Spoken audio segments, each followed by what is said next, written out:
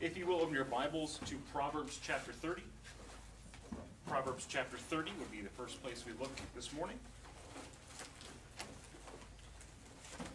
I think I had received the flyer for the West End meeting, and uh, unfortunately, I did not print that off and give it to Mac. The meeting times for today, they have a 3 o'clock sing and a 4 o'clock worship service. It is 7.30 Monday through Friday, and the speaker is Jamie Hines. He is uh, a friend of mine from Florida, actually. He's now living down near Miami area. And uh, if you get the chance to go over there, I'm sure they would greatly appreciate you spending the time to go and do so. Um, we'll be looking here in Proverbs chapter 30, down in verse 8 and in verse 9. It is October. This is the month where we begin all of the preparation to, to thank God for all of the blessings we have.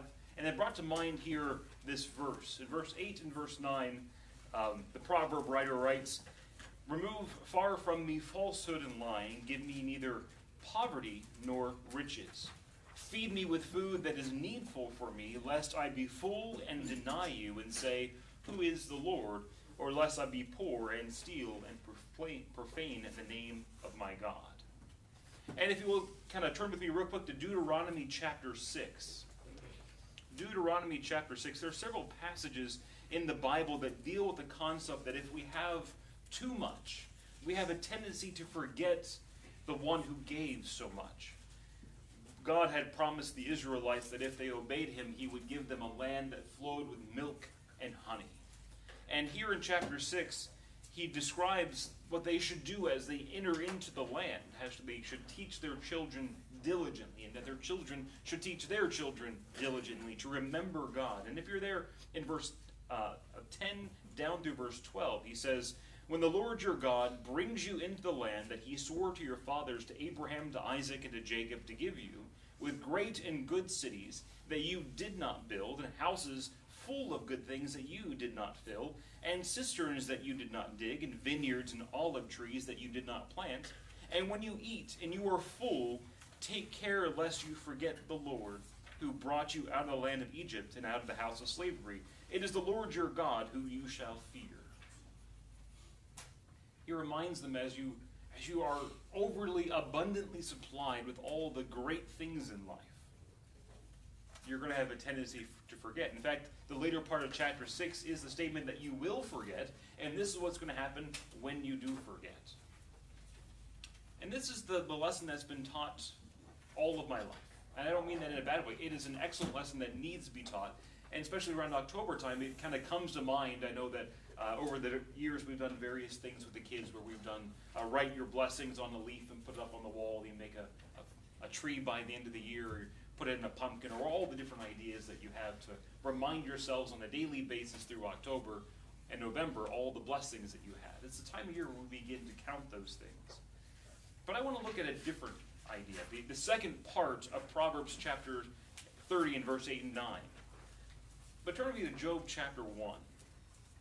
Job chapter 1. Our lives are, are full of blessings. We have so many good things. and even when things seem to be going bad, things are still usually going pretty good. It's kind of like pizza. Even bad pizza is pretty good because it's still pizza. Not to sound you know, too too proud of being an American, even when things are going pretty bad as being American, it's still pretty good because we're an American. I think we had looked a couple weeks ago on the topic of how much is enough for us to be thankful and, and grateful from God.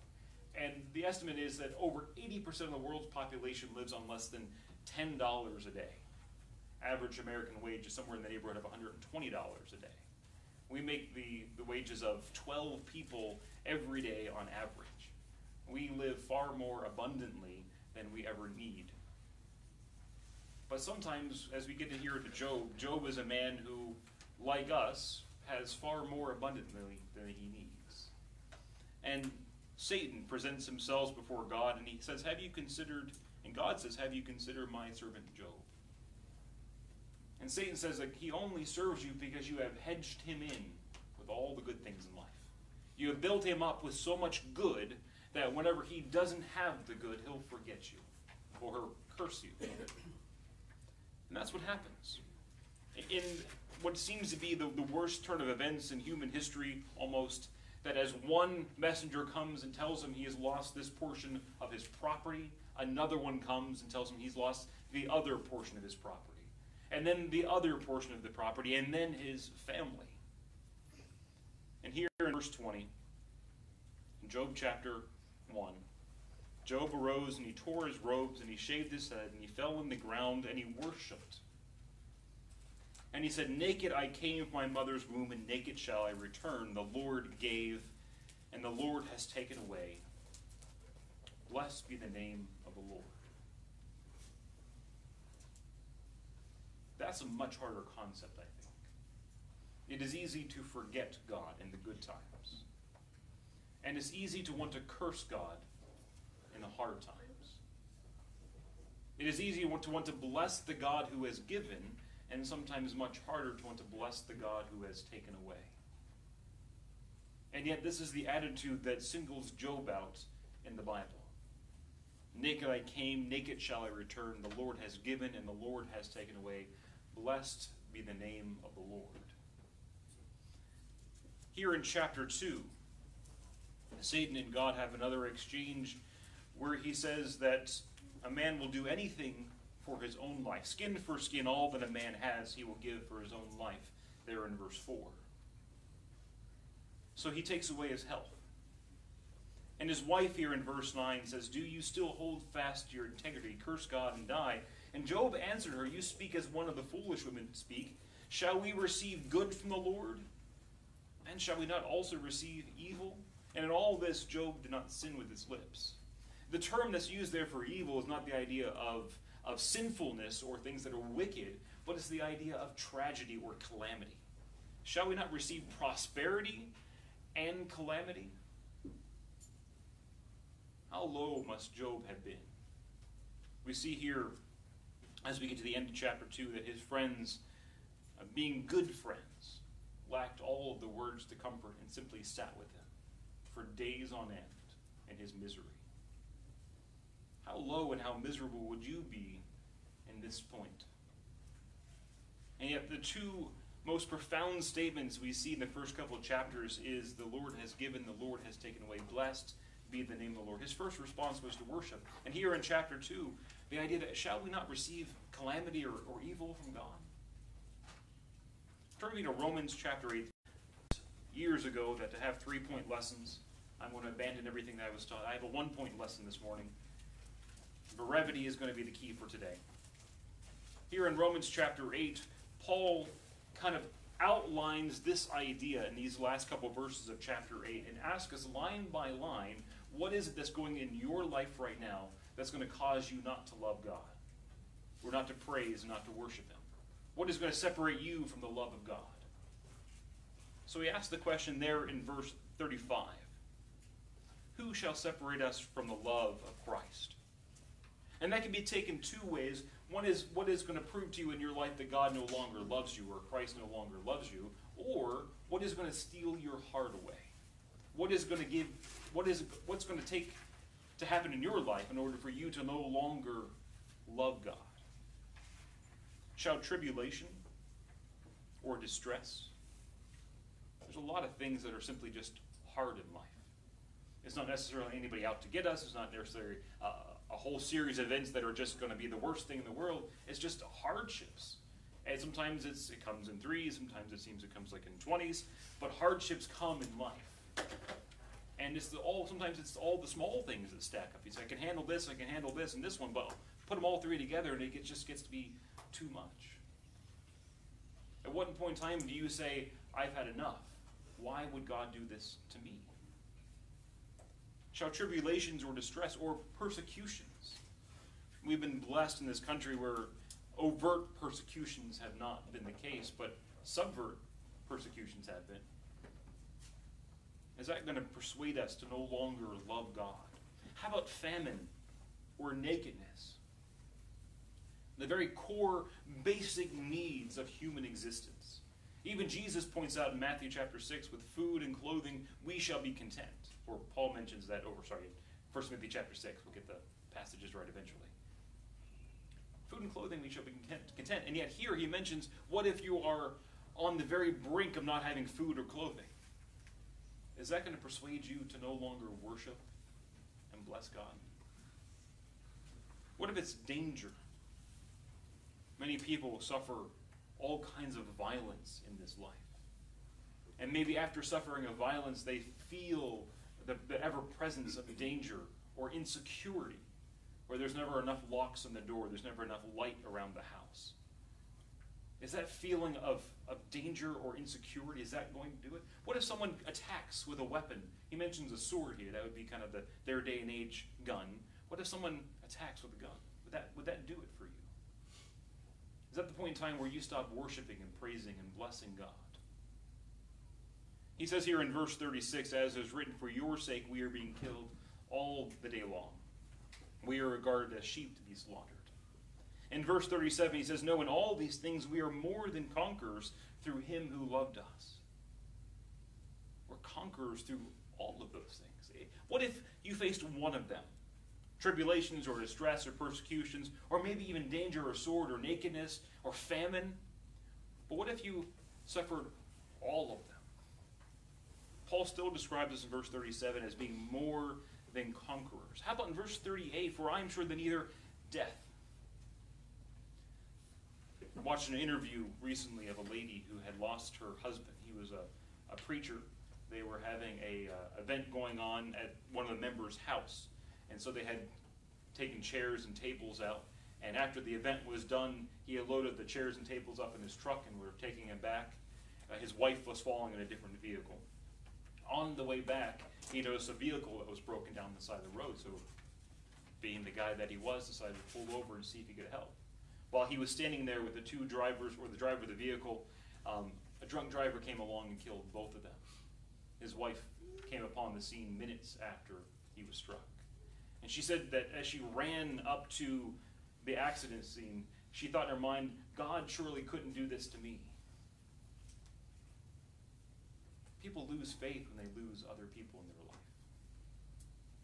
Paul asks that question, or makes the statement, that I am sure that neither death, nor life, nor things to come, nor powers. And all of these things will be able to separate us from the love of Christ Jesus. Sometimes we think, well, we're, there's, we're doing too much right to suffer this much wrong. We are trying too hard to go through this much negative. And all of those things could be easily said about Job. A man who had faith like nobody else in the rest of the world. That there's that God singled him out and said, Have you considered my servant Job? That there's nobody else who is doing as much good as he is. Yet God chose to allow that to happen to him. For whatever his inscrutable reasons were, whatever purposes for Job or for us. Job being ignorant of all the, the, the private conversations that we are privy to. Job says, God has given, and God has taken away. Blessed be the name of the Lord. Shall we not receive good and evil? So he makes the point towards the end of chapter 8. Nor angels, nor rulers, nor things present, nor things to come nor powers, nor height, nor depth, nor anything else in all of creation will be able to separate us from the love of God that is in Christ Jesus our Lord.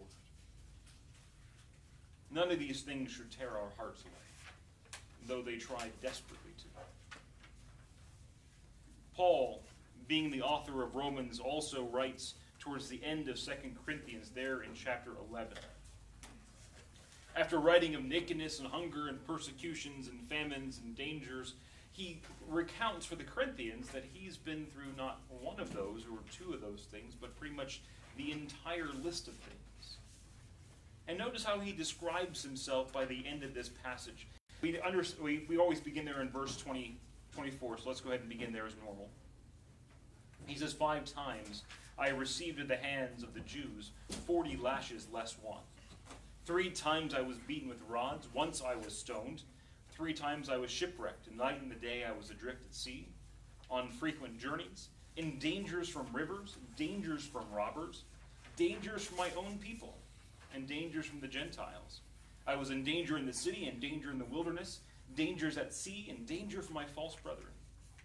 In toil and hardship, through many sleepless nights, in hunger and in thirst. Often without food, in cold and exposure.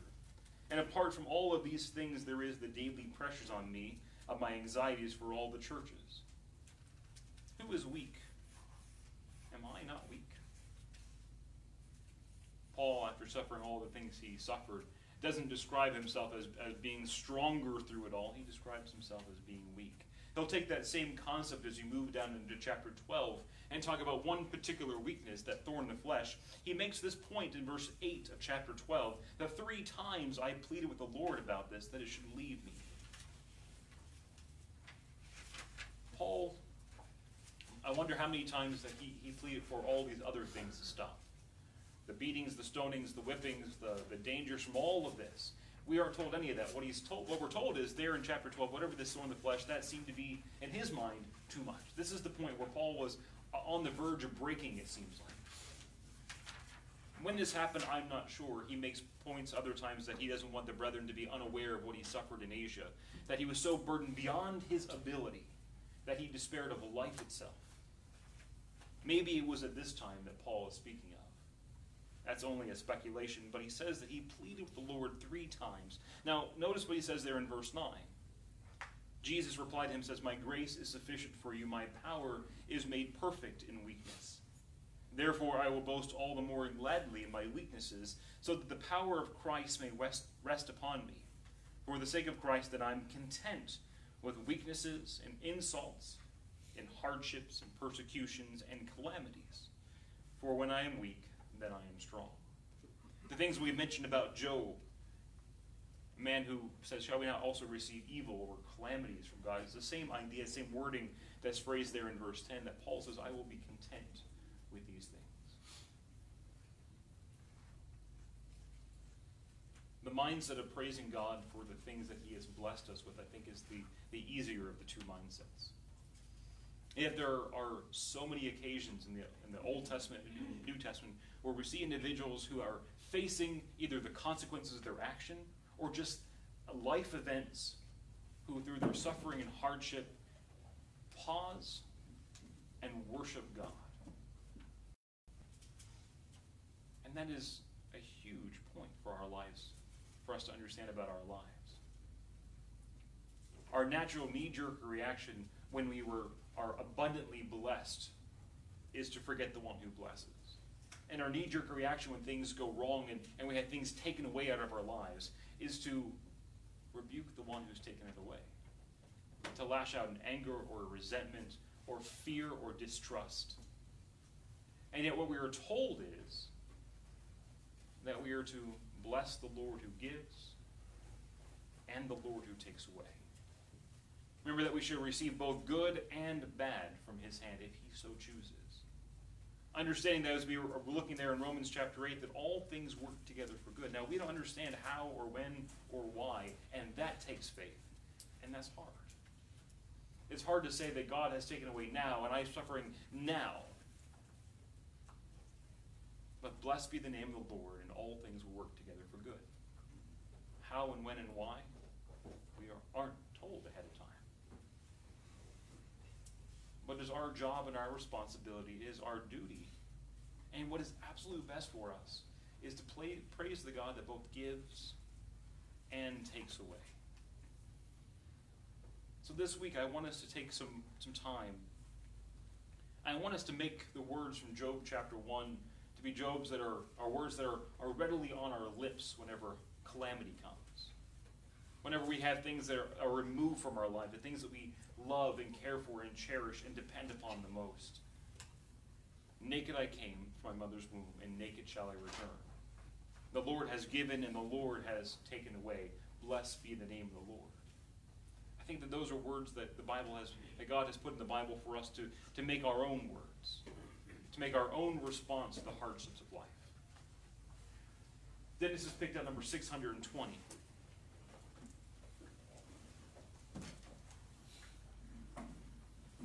you have let hardships or calamities keep you from your love of God or your faithfulness to Him, if you have let hardships drive you away from Him and you need the prayers of the congregation or the encouragement from other Christians, if there's anything we can do for you to help you to become more faithful to God, let us know as we stand and sing number 620. Would you live for Jesus and be always pure and good?